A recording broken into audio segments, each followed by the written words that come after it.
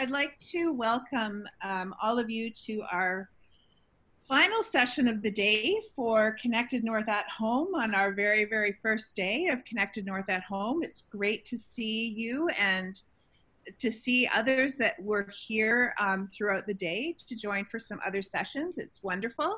I'd like to introduce you to a really great friend of Connected North. Her name is Kareen, and she is the educator at the Royal Botanical Gardens. Uh, she's an amazing teacher and um, so knowledgeable. And today we're going to learn about monarch butterflies and the very hungry caterpillar and insects and all sorts of really cool things. So I'm going to turn it over to you, Kareen. And if you have any uh, questions for Kareen, we're going to, to stop a couple of times and take some questions and we'll do our best to ensure that everybody has their questions answered. So over to you, Kareen. Wow, then thank you so much, Mally, and welcome everybody to Royal Botanical Gardens. And actually, I'm in my basement, so I'm doing these programs here, but I'm really from Royal Botanical Gardens, and I'm glad that we can share all these wonderful things about insects and how we how important they are. So I'm going to start first of all by acknowledging that you have come from quite a distance away, some of you, and and just a minute, there we go. And I'd like to share first of all uh, the map of where you are because you are from a huge area. So some of you have come all the way from Nunavut, from Ontario. I know there's people from Michigan as well. So welcome everybody. And Royal Botanical Gardens is all the way down here. So we're on the southwest tip of Lake Ontario, and I'll just go a little bit closer just to give you an idea of what it's like. So um, and we are surrounded by cities, so many different cities. Uh, we've got Hamilton, Burlington, all the way up to Toronto, way up there. This is Lake Ontario right here. And Royal Botanical Gardens, and I'll just go a little bit closer, is this huge oasis of green. It's this whole area, and I hope you can see that when I'm pointing it out with my mouse. All of this area of green and it includes gardens as well as natural sanctuaries. Actually, the majority of it is natural sanctuaries. And we have quite a variety of plants and animals that are in our natural sanctuaries and garden areas. So there's just an example of one of our gardens, but there's an example of one of our natural sanctuaries with all sorts of forests and meadows and wetlands, different types of wetlands. So it's a pretty amazing place. But when we, I want to talk about insects, but the other thing I need to do is I need to make sure that we know exactly what an insect is. So I'm going to switch over and we're going to play a little true and false game. Give you a chance to sort of think about what insects, what makes an insect. And we are going to concentrate a little bit on butterflies and moths right now. So you can see the first question. Butterflies and moths have six legs. What do you think? Yes or no? What do you think? And maybe some of you can put your answer in the chat if you'd like or you can just yell out at home, yes or no. I'll give you a couple of minutes, to, a couple of seconds to think about that, and then we'll see what the answer is. And you are absolutely right. They have six legs. So let me show you some examples. So we have an example of a, whoops, oops a daisy of a tiger moth here a lovely tiger moth. And then here we have and some of you may recognize it a woolly bear caterpillar. Okay so actually i happen to have a woolly bear caterpillar. So what i'm going to do is let me see if i can bring up my camera that has my woolly bear on it. Let's just see where it is. Hold on now Oh, I don't see it, but that doesn't mean anything. We'll just keep on going because maybe it'll, maybe I'll see it in a, in a minute. Okay, so there is my woolly bear. Let's go to the next question. Let's see what the next question is. And oh, by the way, some of you, you can see the legs on the moth, but do you see the six legs on the caterpillar? Now, some of you may be going, yeah, yeah, I see. Wait a minute. There are more than six legs. Ah, those are not the legs. These are the legs. So the legs on the little caterpillar are these very sharp little black ones right here. These are, some people call them pro legs or pretend legs. They're false legs. They just help that little caterpillar grasp things. Okay, let's go to the, the next question. All right, butterflies and moths have antennae. What do you think? Yes or no?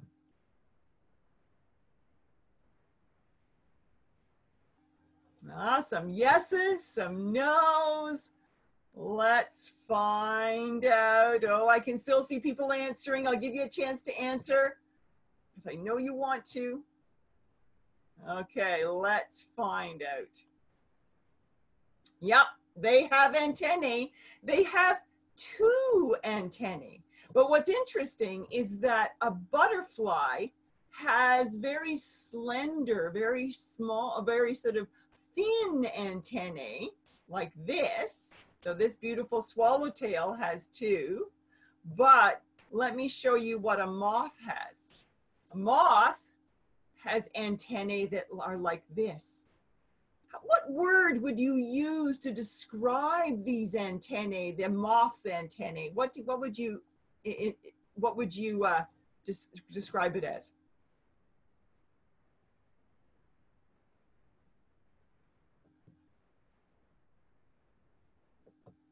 Ferns. That's a that's a very interesting analogy. I love that. Or I should say a little metaphor. It's like a like a fern. Some oh like a leaf. Okay, leaf like. Some people actually call them feathery. So yeah, there you go. Exactly, Milo. They're like feathers. Exactly.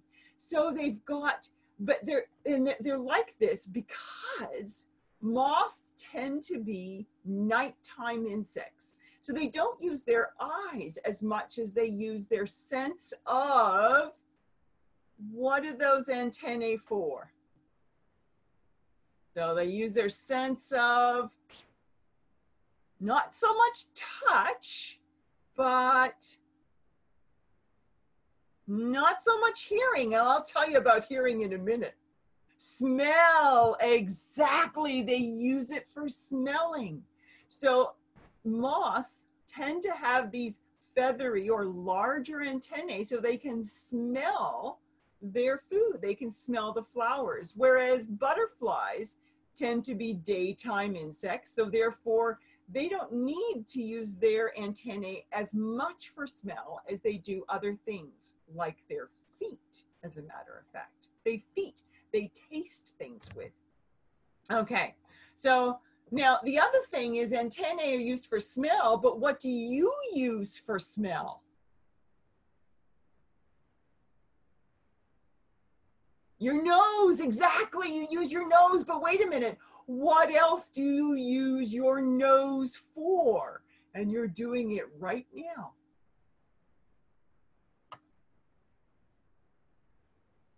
Breathing exactly. Well, here's the thing insects don't have noses. Nope, no noses. So they breathe through little tiny holes on their abdomen. So if you were an insect, it would be like having two noses on the top of your head and then noses along the side of your body. It's kind of cool as as our friend uh, Tanner mentioned and to and Toby mentioned, it is it is pretty cool. I agree. Okay, let's take a look at our next question, and then we're going to do something else. So butterflies and moths have two body parts. What do you think? Yes or no?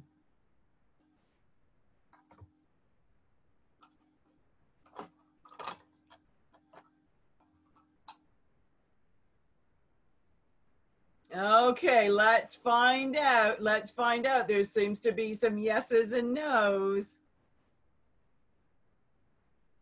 And it's a no. So butterflies and moths, like most insects, have three body parts. And that includes the head, which is this first one, and that's where the antenna are, and the mouth and the eyes. Then the thorax, that's the middle section with the legs and the wings. So it's a very muscular section. And then we've got the abdomen, which is where, in a sense, the guts are, but that's also where they have those little holes or spiracles that they use to breathe with. But it's the same thing whether it's an adult or a caterpillar they also have those three parts the head, the thorax, and the abdomen in just a slightly different size.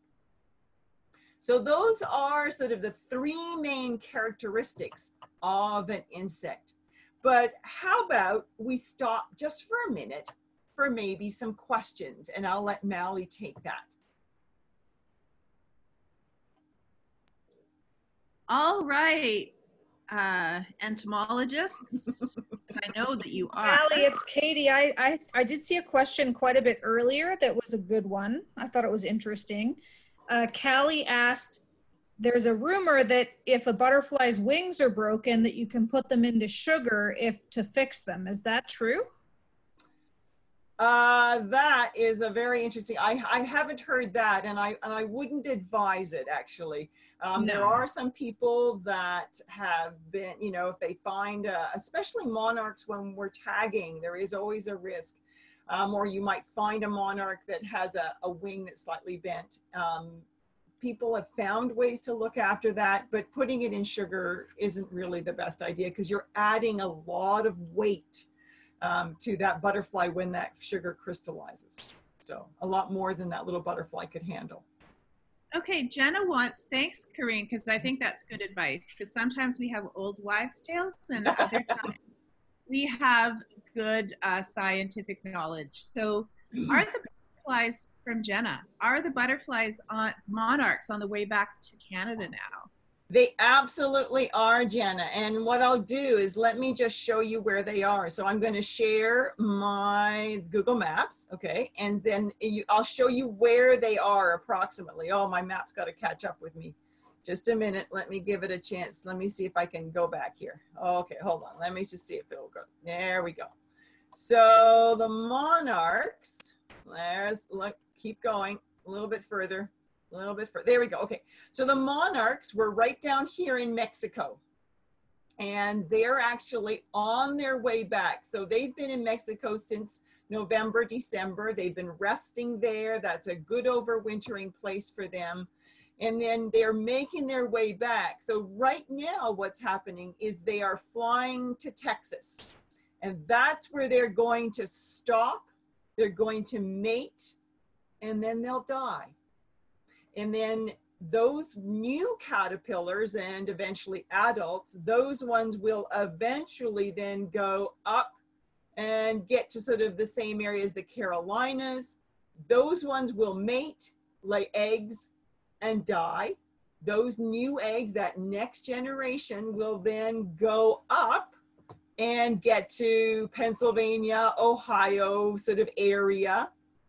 And eventually those ones will mate, lay eggs, and die. And then finally, the people in Michigan and we in Ontario will get our first generation probably by about the end of May, beginning of June.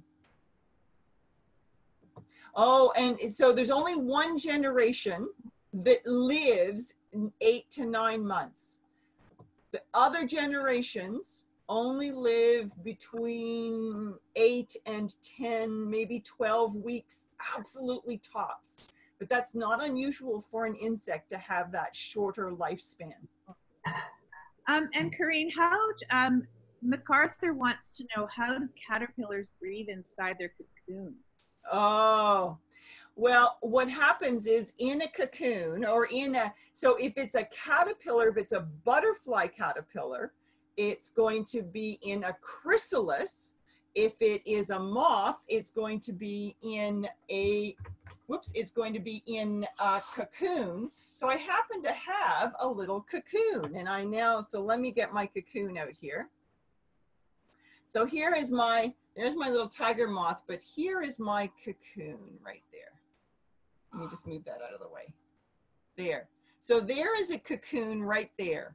And you can see how fragile it is. But just like the insect, they also have um, those every every life stage of that insect will have those little holes in their abdomen or spiracles that will help them breathe. So it's the same thing. It will be as part of their body. Wow, that's fascinating. That's really fascinating.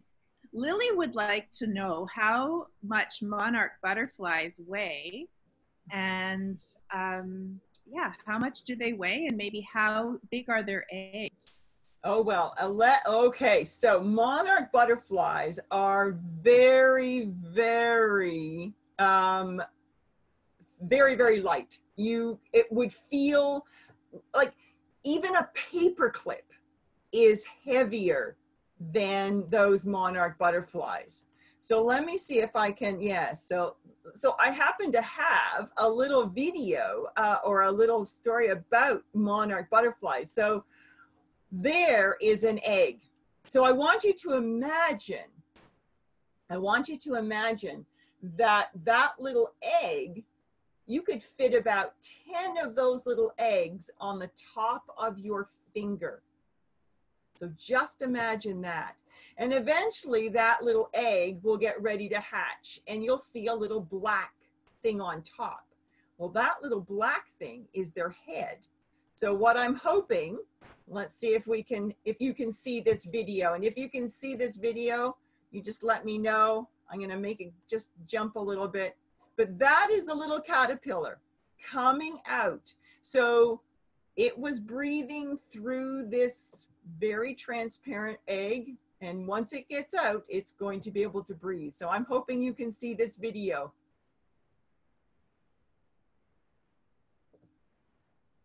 So when an egg, an egg will sort of stay an egg for about four or five days and then it will become a caterpillar and once and it's a caterpillar for about 10 to 14 days it's in its chrysalis for about 10 to 14 days and then it's an adult.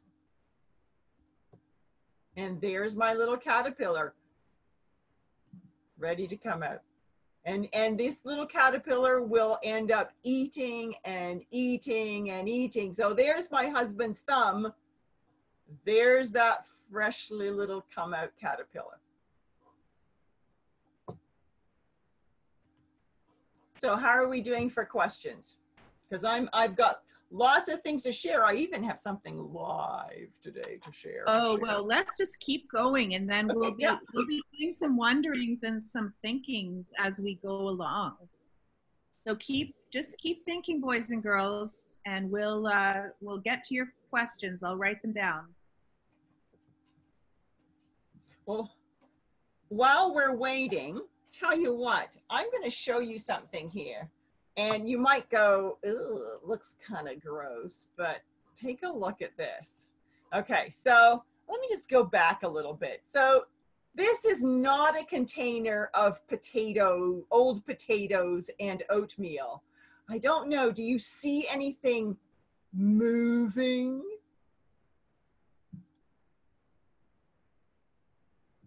Look at that. Look at that right there. Do you see that? Did you, oh, oh, oh, there it is. Okay, so that, let me see if I can uh, just move things around a little bit. so you can see what it is. Because I don't want to put my big finger, my big hand in there. Oh, there he is. There he is. Okay, okay, I'm gonna put my big hand in there and then I'm gonna dig him out and see if we can get him out because they're very fast. Oh, there they are. and look how fast they go down. They really don't like to be on camera. Actually, they don't like to be in the light. They like to hide because when they're out, they're very vulnerable. So these, see, they're gone. These are mealworms. Actually, these ones are called superworms. So they're the very large ones. But they are larvae. They're, they're, so we call these larvae versus caterpillars. And I've got one here, but he's a little bit quiet. He's not doing a lot of moving around. But let me put him out here so you can see him. There he is. And I'm going to get a little bit closer. There we go. There he is. But you can see he's got little tiny antenna. They're right there. Those are his little tiny antenna. And then, and if he, if he just cooperates, I don't know if he'll, oh, oh, oh. Do you see his little legs right there, close to his head? You can see those little legs every so often. They'll pop, they'll, they'll become visible. But he moves quite fast. There, there are his little legs, right? And then on the side of his body, it's not easy to see because when I've tried to move him over so you can see on the side of his body in each segment, there will be a little spiracle or a little thing that helps them breathe. But eventually they will form a pupa. They will form uh, uh, not a cocoon, not a chrysalis, because it's not a butterfly or moth. They'll form a pupa. That's the general term. And eventually they'll become this. There he is. Now I can't take my lid off because he gets out, but this is a mealworm. I mean, uh, this is a, sorry, this is a darkling beetle. But look at those beautiful antenna of his and look at those six legs. And what do you notice at the end of his legs? Look where his feet, what we might call his feet, look at those. What do you see there?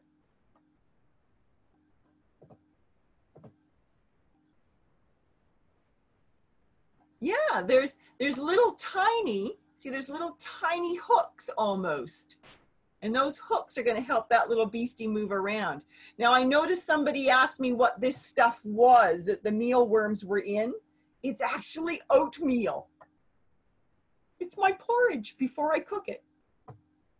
And they also like to eat potatoes and cucumbers and carrots. Yeah, those little claws. You see how he's gripping that oatmeal? See how he's gripping that and holding on to it? And do they bite? Not that I've noticed. I can put him on my hand. At least I think I can. I don't think he's gonna. But those little those little hooks hold on really well. So there he is on my finger, but the problem is, is the focus is gonna be challenging. Let me see if I can get it back a little bit. There he is. So he's on my finger, but he's not gonna bite me at all. I'm, uh, my skin's too tough. Yeah. I'm gonna put him back in this container if he'll let go of, see, the thing is his little claws, they're, they're really, they're really good claws. So I'm gonna, oops, I'm gonna stop sharing so I can uh, move my little guy back. But what I can show you while people are thinking of some questions, what I can show you is, uh, look at him, he's, he's still there. What I can show you is how insects chew and how different it is from what we do. So whenever you think about something, okay, he's not gonna let go. he's on the other he's on the other, oh there, I've got him, okay. So insects, when they chew their food, where we go up and down, insects do this. So you can try it with me. Put your thumbs up, put your thumbs on your cheeks, bring your fingers around. That's, if insects are chewing eaters, this is how they do it. Think of a, think of a caterpillar and it goes chomp, chomp, chomp, chomp, chomp, chomp, chomp, chomp, chomp, chomp, chomp, chomp, chomp, chomp, chomp, chomp, chomp, chomp. And that's how the beetle also will eat his potato. Okay, so time for questions. Or uh, I'll leave it up to Mally of how we're doing.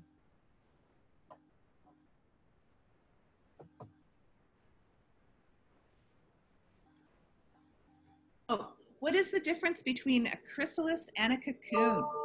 I can show you both. So a, a cocoon, and actually I can show you several. So this is a cocoon. Um, and it's quite, it's quite a large one. The one I showed you earlier, that was from a woolly bear, and there, that, those two they are. That's what they look like. But I'll show you on my document camera to make it a little bit easier. Both of these are cocoons. And so I'm gonna put them down here and then I'll show you the, I'll show you a left, I'll show you a couple of chrysalids. Okay, so I'm gonna share this. Okay, so let me go back a little bit. And let me get that, that light, lights a little bright. Okay, so let's do it this way. So if you notice, both of the, both of the cocoons are slightly hairy. And what happens is when, when uh, a caterpillar, a moth caterpillar. So both of these are from moths. Uh, cat, these will both be moths. They make their chrysalis around themselves using the silk. Whereas a butterfly, and I'll show you a video of that in a minute, a butterfly will actually, that chrysalis, and so this is a monarch butterfly chrysalis, and you can see it's much and here, let me get that light out of the way. It's much finer. And what's really cool about it is that it actually, it actually makes the chrysalis within itself. And I actually have a video of that. Here's another chrysalis that I have. This is from a swallowtail. Here's from a swallowtail butterfly. But let me see if I can get my video of the monarch coming out of the uh, the chrysalis. So I'm just going to zip through here. One second. So this might this might answer Daniela and Gabriel's question. How long is the butterfly inside the cocoon? Well, it's in it's inside a chrysalis for about 10 to 14 days. In about 10 to 14 days. And I'm just going to use this. I'm just going to so I'm hoping you're going to be able to see this.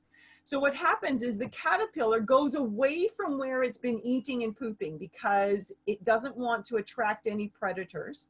It makes a little silk button on the plant and then eventually it will turn itself around and um, and then it will latch itself onto that silk button. As you can see it will happen there. And then it will let go from the side of the plant. So i'm hoping you're able to see this okay. And then right now at this point it the chrysalis is being formed inside the caterpillar. So it's so right now, so what's happening is the exoskeleton or the exuvia, that's the outside of the caterpillar. It is being moved and I'm going to try and stop it just to, to, point something out to you because you're going to, s- okay, so you see what's happening? It's going to straighten out and then what's going to happen, it is kind of gross. Oh, there. Okay. I just stopped it because I wanted you to see this. What's happening is that the skin or the exoskeleton or the exuvia of that caterpillar is being moved up and what is what you are seeing now is the chrysalis. So the chrysalis of a butterfly forms from within, the cocoon of a moth forms on the outside. So I'm going to finish this one so you can see what it looks like. And it would take about 20 to 30 minutes from start to finish. And it's just wiggling so that it can attach it. And then as you go, as it continues on, you'll see really well what we all know is a monarch chrysalis. And there it is. So We have a lot of wows and cools and ooh, that's so awesome. Thanks for sharing that, Kareen. You're welcome. Okay, another question. Um, do butterflies have bones? No, they don't. They are not like us where we have bones and stuff like that inside our bodies. But butterflies have what are known as exoskeletons. So let me see now. I have something weird. Oh, yes, yes, here it is. Okay, you might even recognize this. So let me just get this out here for you to see. So I'm going to share that. And, and you may you might recognize this. Let me just move my, my light over a little bit. Let me move things over. There. There. Do do any of you recognize this beastie?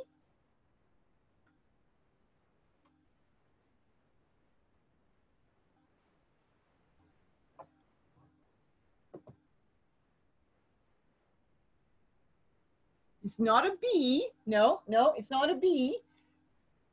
How about in the summertime, when it's very, very hot, you might hear a type of sound.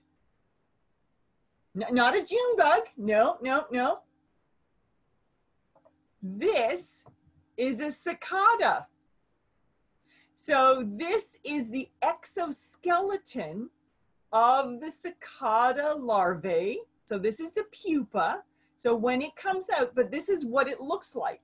So the exoskeleton is just, you know, when you think of uh, when you think of um, uh, uh, a lobster or a crab or a crayfish, they have that sort of hard shell on the outside. Well, insects don't exactly have a hard shell necessarily, but their outer covering is their bone uh, but we call it an exoskeleton. So this is this is a a cicada um, pupa.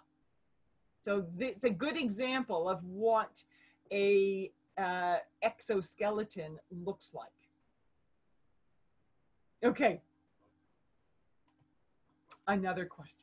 And I'm letting Mally, um, I'm going to let you decide uh, where we go and how long we go for. Okay, well, we uh, sort of agreed that we, we do half an hour, Yep. 40 minutes. So, um, how many um, monarchs come back to Canada? Not, not as many as go down. So in, in the trees in, and let me see if I can get that picture, in the trees in uh, Mexico where they go, there are millions and millions, and I'm just gonna sort of zoom through here. There are millions and millions of, uh, I don't know if I'm gonna find a picture of there. There are millions and millions of butterflies. So this is what you see brown, that is not dead leaves those are monarch butterflies. So there are millions of monarch butterflies that will fly down to Mexico, tens of millions. But what comes back is perhaps um, less than a tenth of that. So, um, and it, they come back very slowly because there are, there are, you know, they won't all make it. they won't all survive the trip back. They don't all survive the trip in Mexico. There are predators, there are birds, and there are um, rodents that will eat these monarchs. Um, they might not have had enough food on their journey down. That's why it's so important that we create gardens, no matter where we are, for all sorts of different insects and other wildlife. If we've removed a garden, to put in grass, we should put something else back so that they've got some food. Um, but they will travel, um, but, but there are a lot of deaths. So it's maybe 10% of the total population. And where do where do they go in Mexico? Is it all over Mexico?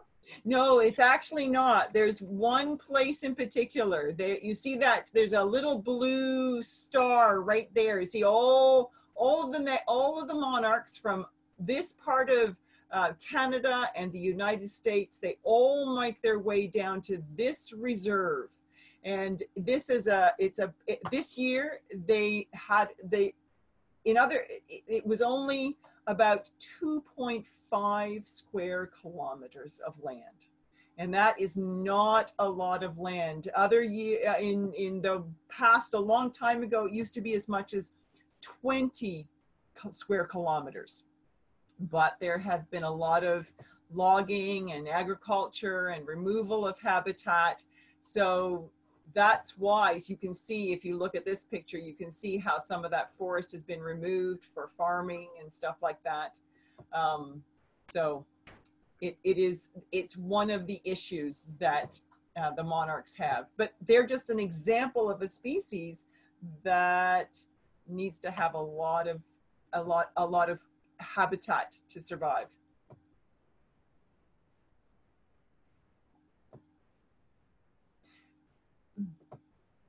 And uh, I, I noticed there's someone, uh, Nicholas and Noah. Um, uh, the, so if you are in Ontario, um, monarch butterflies are a species at risk. And they're, because they're a species at risk, they are under the protection um, of the Ministry of Natural uh, Ministry of Natural Resources and Forestry. And because of that, um, if you are going to collect um, you need to have a permit. But by all means, have milkweed in your garden, have lots of nectar flowers in your garden to support all the stages of the life cycle and do your observations there. Um, and report your observations to places like Journey North or um, Mission Monarch, which is a Canadian one. Okay, I'm going to stop sharing and see if there's another question that people would like Okay. answered. Or maybe we've used up our time.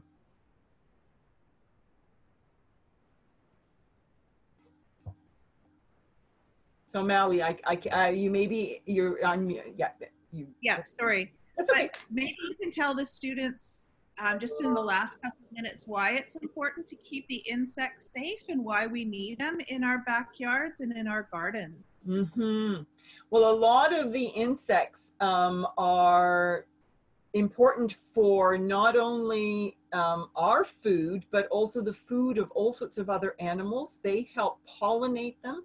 They help um, take care of pest insects.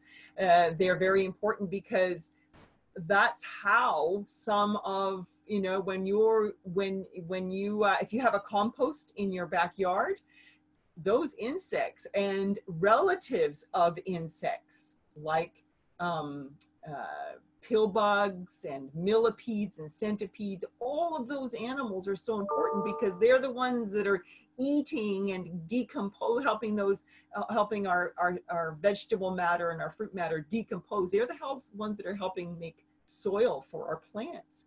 Also, you may, it may, it's not the nicest thing, but it's important thing. The caterpillars are some uh, butterflies that lay lots and lots and lots and lots, like thousands of eggs. Well, those caterpillars end up being food for the songbirds. So, you know, not only are those caterpillars eventually going to become adults, but they're also potentially food for other animals. So it's a very intricate web of how important these insects are in our lives and the lives of the environment. So, Kareen, I just want to thank you so much for connecting with our students.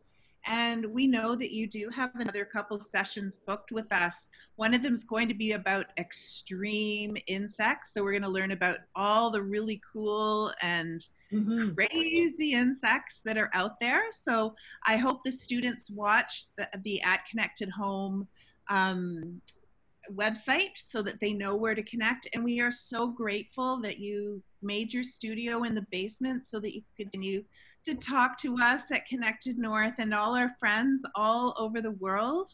And we just want to thank you. We're going to give everybody a Karina a high five and a virtual applause. and thanks for coming, guys.